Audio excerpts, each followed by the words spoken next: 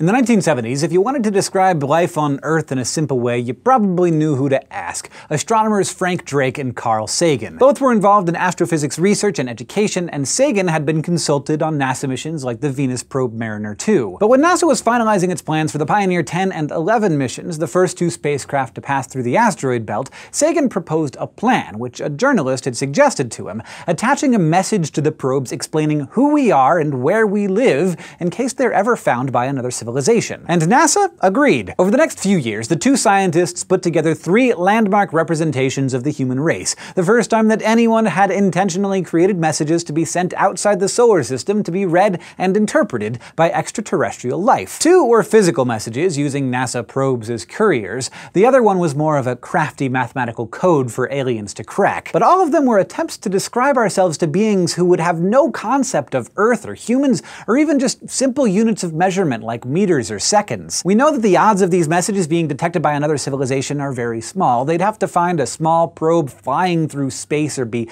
listening to exactly the right frequency at exactly the right time. But they sent them anyway. Pioneer 10 and Pioneer 11 launched in the early 1970s and each carry a copy of the same plaque meant to explain where they came from. For anything on the plaque to make sense, Drake and Sagan realized they needed to use a universal language, science. So to describe length, the plaque uses units based on the energy change that occurs when an electron and a proton and a hydrogen atom switch the way they spin. Since it has a diagram of the transition, they hoped that any spacefaring civilization would understand what they were talking about. To explain where the Earth is, they included a pulsar map. The map shows the Earth's location among 14 different pulsars, stars that regularly emit bursts of electromagnetic radiation almost like beacons. The plaque also includes other details like pictures of humans standing in front of the probe, which is kind of weird because now the whole universe knows what we look like with our clothes off. But when it was time to launch the Voyager probes a few years later, Sagan, Drake, and their team were a little more ambitious. Instead of just a plaque, the Voyagers carry with them copies of the Golden Record, like the kind that plays music, forged from gold-plated copper instead of vinyl. The record's cover contains basic information like the hydrogen and pulsar diagrams, plus some illustrations that explain how to play the message on the record. Once the alien recipients figured out how to build a record player, they'd be treated to sounds from all around Earth, including greetings in 55 languages,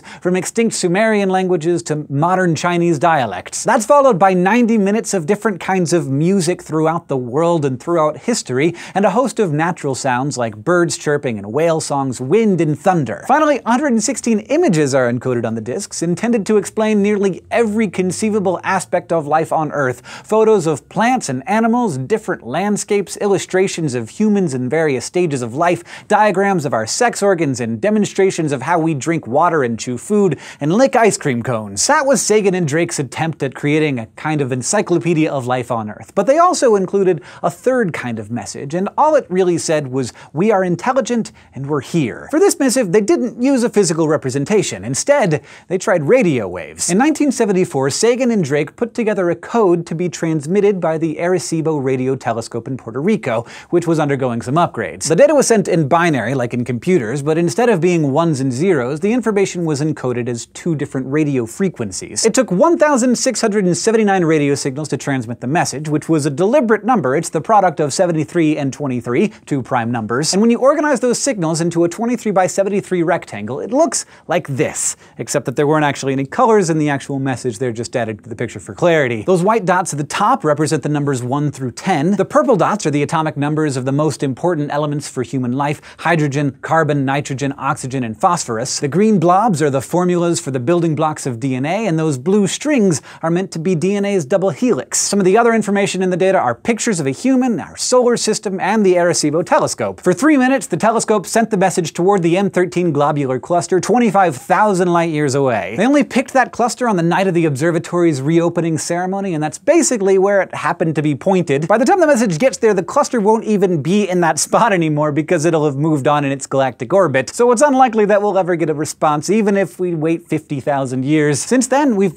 lots and lots of other messages at likely looking star systems, though we haven't yet heard back. But I think at least we've learned a little bit more about ourselves in the process. Thanks for watching this episode of SciShow Space, and especially thank you to our patrons on Patreon who make this show possible. If you want to help support this show, you can go to patreon.com slash scishow to learn more, and don't forget to go to youtube.com slash scishow space and subscribe.